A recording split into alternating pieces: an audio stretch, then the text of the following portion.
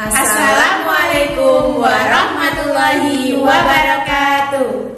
Selamat pagi anak-anak. Bagaimana kabar kalian hari ini? Bertemu lagi dengan Bu Dina dan Bu Risa. Hari ini kita akan belajar tentang seni budaya dan prakarya atau bisa kalian sebut dengan SBDP. Materi hari ini adalah gambar cerita. Tujuannya yaitu memahami gambar cerita. Mari kita simak video berikut ini. Pengertian gambar cerita. Gambar cerita merupakan gambar atau serangkaian gambar yang mengandung sebuah cerita. Contoh gambar cerita adalah gambar ilustrasi. Gambar ilustrasi adalah gambar yang menjelaskan suatu pengertian yang berfungsi untuk menghiasi buku atau majalah.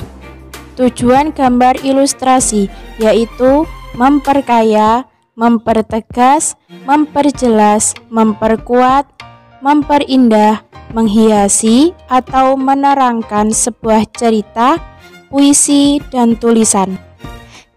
Gambar ilustrasi memiliki fungsi sebagai berikut. 1. Menarik perhatian orang. Yang kedua, memudahkan memahami suatu keterangan atau penjelasan sebuah tulisan. Yang ketiga, sebagai sarana mengungkapkan pengalaman suatu kejadian yang diekspresikan dalam sebuah gambar. Yang keempat, memberikan gambaran singkat isi tulisan atau cerita yang disampaikan. Dan yang kelima, sebagai nilai keindahan dalam perwajahan. Adapun ragam gambar ilustrasi antara lain berupa cergam, cerita bergambar, komik,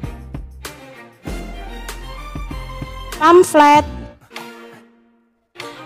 cover, kartun, dan karikatur. Adapun media gambar yang bisa kamu gunakan untuk menggambar adalah 1.